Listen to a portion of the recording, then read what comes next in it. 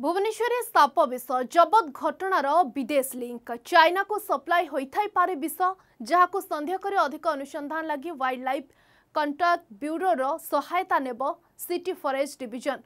एने तुब शीघ्र जबलपुर टि आसन्तपार विशेषक अभियुक्त फोन कल डिटेल जांच लिंक खोलि अनेक तथ्य बाह्र मुख्य अभियुक्त एपर्डिनाको धरेवा प्रचेष्टा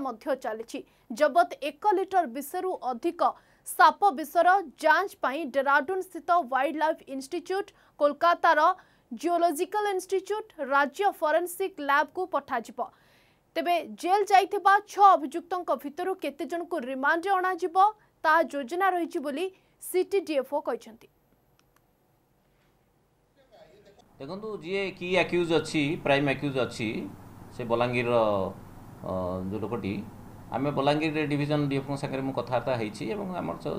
ଯାହା ଆକ୍ସନ୍ ନିଆହେଇଛି ସିଏ ବର୍ତ୍ତମାନ ଆବସ୍କଣ୍ଡ କରିଛି ତା'ର ସେ ସେଠି ଯେଉଁ ଗାଁରେ ରହିବା କଥା ଗାଁରେ ନାହିଁ ତା ମୋବାଇଲ ବି ସୁଇଚ୍ ଅଫ୍ ଅଛି ତେଣୁ ଆମେ ଚେଷ୍ଟା କରୁଛୁ ତାକୁ କେମିତି ଆପରେଣ୍ଟ କରିବୁ ଧରିଲା ପରେ ଆଉ କିଛି ଆମକୁ ଲିଙ୍କ୍ ମିଳିଯାଇପାରେ କେଉଁଠୁ କଲେକ୍ସନ୍ କରିଛି ନିଶ୍ଚିତ ଭାବରେ ସେ